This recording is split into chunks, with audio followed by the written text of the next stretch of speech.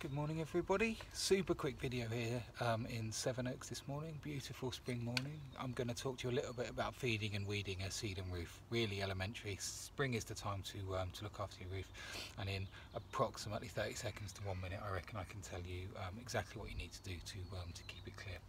First thing to bear in mind is you can see some little, um, still some little red patches in the middle. The sedum roof is struggling, and we, we were called in last year to um, to revive it. Not too much that needed to be done to be done, but what we did do was put down some organic slow release fertilizer, which has really helped bring things on. But it's also created fertile conditions for some invasives to um, to take.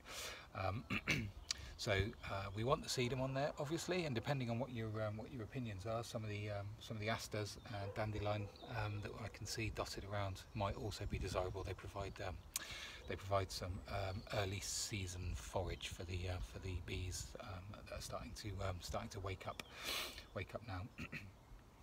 but there's some there's some thistles here.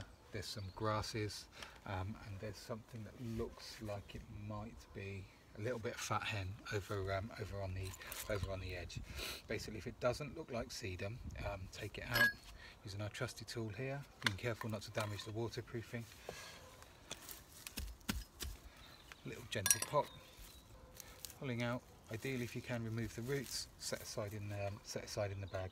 Um, there's dozens of thistles here, um, and one of the things that will um, that we need to look out for whenever you feed a roof is that um, is that other plants can um, can grow in.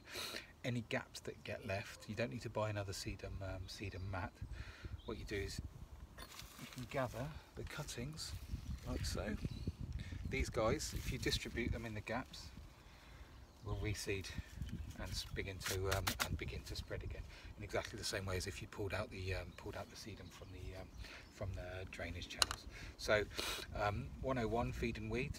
By these plants do need um, do need some feeding, but you'll also need to look out for um, for taking out some of the plants in the spring. Should be done by March, April, and the the cuttings redistributed so that they can they can take ahead of the growing season, which is coming up now.